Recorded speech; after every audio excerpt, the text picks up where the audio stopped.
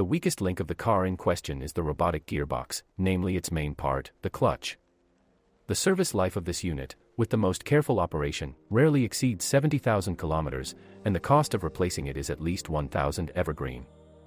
But this is not the biggest problem, because you still have to find a suitable service station for this work.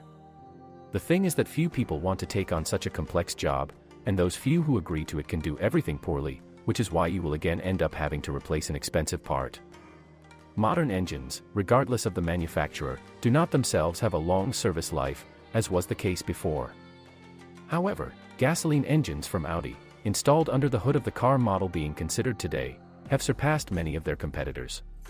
Premature wear of the timing chains, scuffing on the cylinder walls and a truly gigantic oil burner will haunt you after the first 100,000 kilometers, and you will be unable to do anything about it. Many owners of the three-generation Audi A4 often report a problem associated with the failure of the electric power steering at sub-zero temperatures. Moreover, this is more the rule than the exception, and no one will tell you what to do about this problem.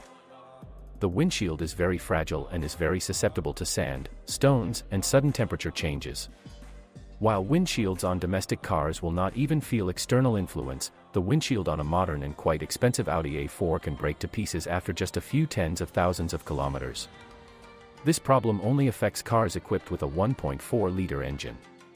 It is not clear for what reason, but in tandem with this engine the manufacturer supplies rather low-quality air conditioning compressors, which can fail without good reason after just a few tens of thousands of kilometers, even if the air conditioning system in the cabin is properly and correctly used.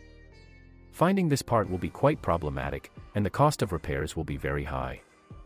Other shortcomings in the design of the machine, many owners include the following. Weak paintwork on the body, Quite a meager package for the money the manufacturer asks for it, insufficient amount of free space for rear passengers, high cost of maintenance, difficulty in finding spare parts and professional service centers, no wiper behind the rear window, cheap interior trim, poor sound insulation of the interior, especially in the area of the wheel arches, low ground clearance, which may cause problems in winter, stiff suspension, quite a weak engine, 1.4-liter version. Picky about fuel quality. Overall, this car is a pretty good option for driving in dense city traffic. The attractive and modern appearance of the car is certainly captivating. However, if you decide to buy this car on the used car market, then it is best to consider the option with a manual transmission. Yes, not everyone will like driving in a big city with a manual transmission, but by doing this you will save your budget from constant injections of funds for an expensive clutch replacement. You also need to always be prepared for difficulties in finding spare parts for your Audi, which is especially true for cars produced after restyling in 2016.